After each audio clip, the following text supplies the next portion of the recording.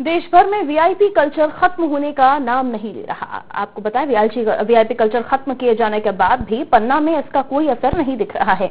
जहाँ थाना धर्मपुर में एक एसआई अपनी प्राइवेट गाड़ी में लाल और नीली बत्ती लगाकर घूम रहे हैं, जिसको लेकर जब एसडीओपी से बात की गई तो उन्होंने चालानी कार्रवाई करते हुए हटवाने की बात कही। वही मामले को लेकर एसपी ने एसआई पर जाँच के बाद विभागीय कार्रवाई करने का आश्वासन दिया है।